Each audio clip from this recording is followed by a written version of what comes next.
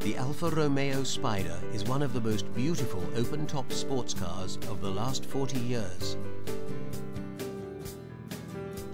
Launched in 1966 and made famous by Dustin Hoffman in The Graduate, the original Spider stayed in production until 1993.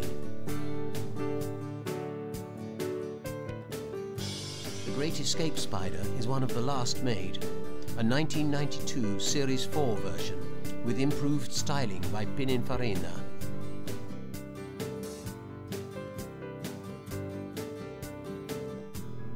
It is fitted with the classic Alfa Romeo twin-cam 2-litre engine and combines burgundy metallic paintwork with a tan Texalfa and Alcantara interior. The car was sold new to a customer in Germany who specified the rare burgundy paintwork.